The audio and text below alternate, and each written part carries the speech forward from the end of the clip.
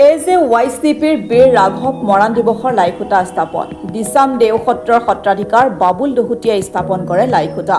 ঊনৈছ আৰু বিছ নৱেম্বৰ তাৰিখে ডুমডুমাৰ ডাইচাত আয়োজিত বীৰ ৰাঘৱ মৰাণ দিৱস। দুহেজাৰ তেইছ বৰ্ষৰ পৰা অসম জাতীয়তাবাদী যুৱ ছাত্ৰ পৰিষদ কেন্দ্ৰীয় সমিতিয়ে পালন কৰি অহা বীৰ ৰাঘৱ মৰাণ দিৱস এইবাৰ তিনিচুকীয়া জিলাৰ ডুমডুমা ডাইচা বৰদলৈ নগৰ খেলপথাৰত আয়োজন কৰিছে।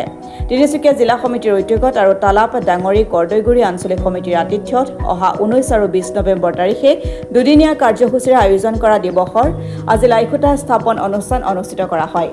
দিচাম দেও সত্ৰৰ সত্ৰাধিকাৰ বাবুল দহুতীয়াই অনুষ্ঠানত অংশগ্ৰহণ কৰি ভকত বৈষ্ণৱৰ খোল কৰতাল আৰু আয়তীৰ উৰুলিৰ ধ্বনিৰে লাইখুটা স্থাপন কৰে।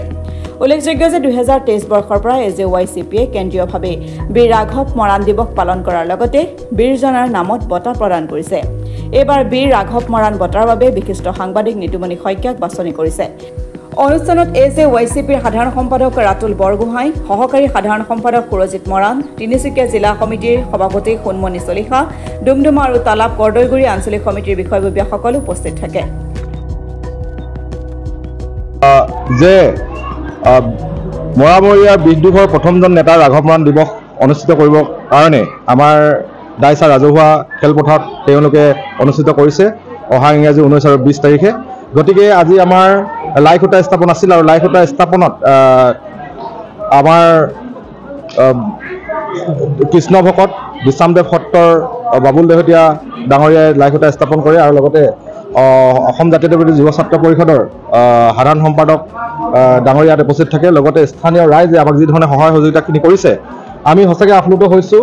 আৰু অভ্যৰ্থনা সমিতিৰ তৰফৰ পৰা যে অহা ঊনৈছ আৰু বিছ তাৰিখে আমি যি ধৰণে কাৰ্যসূচী সফল কৰিবৰ কাৰণে যিহেতু অসমৰ সাংবাদ জগতৰ অন্যতম এজন বিশিষ্ট সাংবাদিক নিতুমণি শইকীয়াক ৰাঘৱ মৰাণৰ বঁটাটো প্ৰদান কৰিব। গতিকে আমি সেই বঁটাটো প্ৰদান কৰাৰ সময়ত আমি এই এই অঞ্চলৰ ৰাইজ লগতে অঞ্চল অঞ্চলটোৰ ৰাইজক আমি ইয়ালৈ আহ, লোকে লোকৰাজ্যভাৱে আমি ইয়াত প্ৰৱেশ কৰিবলৈ সেইদিনাখন আমি হেৰি কৰি মুকলি সভা দিনাখন ইয়াত থাকিব। আৰু গতিকে আমি যিমান পাৰোঁ অভ্যৰ্থনা সমিতিৰ তৰফৰ পৰা আমি যিমান পাৰোঁ যে এই কাৰ্যসূচীটো সফল কৰিবৰ কাৰণে আমি চেষ্টা কৰিম। ধন্যবাদ। দুশ ঊনানব্বৈ সংখ্যক বীৰ ৰাঘৱ দিৱসটো এইবাৰ অসম জাতীয়তাবাদী যুৱ ছাত্ৰ পৰিষদ কেন্দ্ৰীয় সমিতিৰ সৌজন্যত তিনিচুকীয়া জিলা সমিতিৰ উদ্যোগত তালাপ ডাঙৰি চৈখোৱা আঞ্চলিক আৰু ডাইচাবাসী ৰাইজৰ সহযোগত এই ডাইচা গাঁৱত অনুষ্ঠিত কৰিবলৈ সিদ্ধান্ত গ্ৰহণ কৰা হৈছে। আজিৰ লাই খুঁটা স্থাপনৰ মাংগলিক অনুষ্ঠান আছিল। সুন্দৰভাৱে গোটেই অনুষ্ঠানটো সমাপন হৈ গৈছে।